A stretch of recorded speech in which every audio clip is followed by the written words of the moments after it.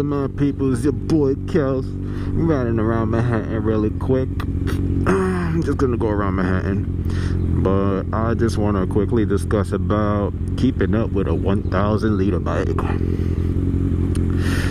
I got a couple of tips, but this is more for people that ride like me.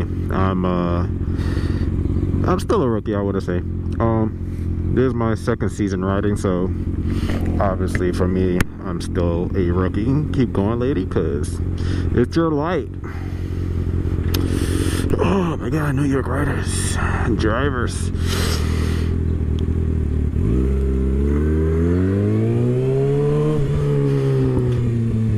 But I'm gonna discuss my bike, my experience. You know, at least the 600 class you know if you have a thousand then you could keep up obviously. But if you're in the 600 hopefully these tips will help you out. But like I said it's for the Kawasaki. Hondas I know have different power bands. Um, same thing with Yamahas R6s but I know the power band to this is mid to high so the power band from mine will kick in seven, eight grand.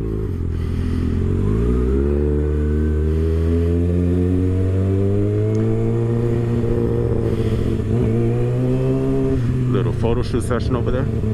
Yeah, but it kicks in seven, eight grand. So for me, what I do is um, I try to stay at third or fourth gear unless I have to shift to fifth or sixth, you know, speed and redlining and all that crap. But if you want to keep up with a liter bike on a Kawasaki 636, you have to, and you don't have a power commander or any of that, you have to stay at third or fourth gear. You're gonna waste gas, but you keep up. But this is from a rookie if and only if you've done track you know you're more of an experienced rider you lean like a mother lover like Mr. Rossi then damn is it here I'm supposed to turn yep it is here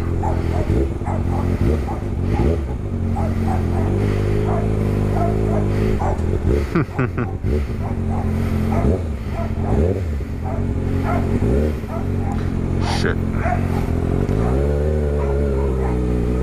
Let's see if I can get.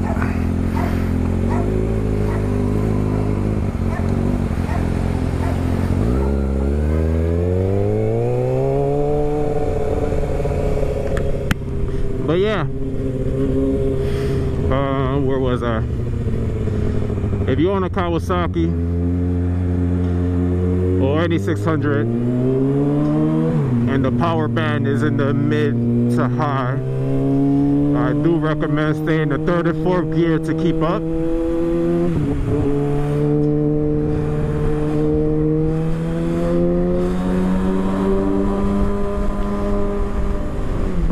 Also it's always good to learn sounds just in case you know they're about to hit it you would know so you can get in that throttle first.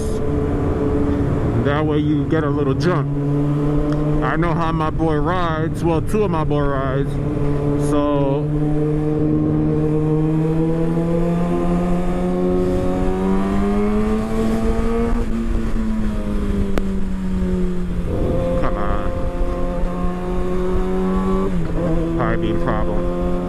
know how two of my boy rides and they have that same characteristic where they kind of lean down.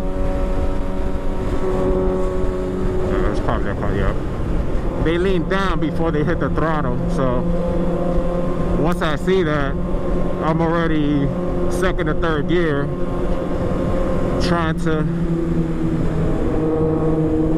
pretty much try to pass them, but not really passing them. Just on the throttle. So I could just book it.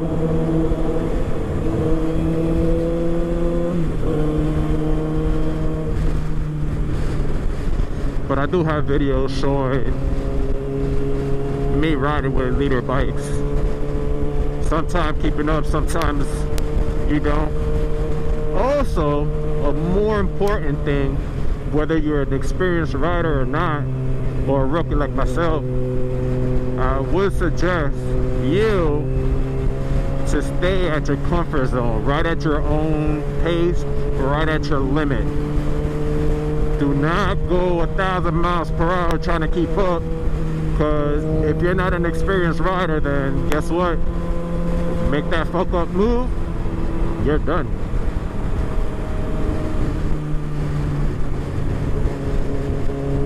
But I'm gonna throw a video of the other day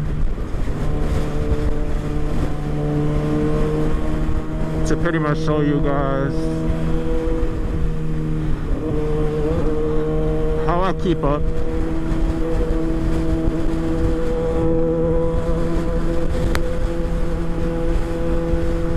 At least for the most part. I will roll the clip now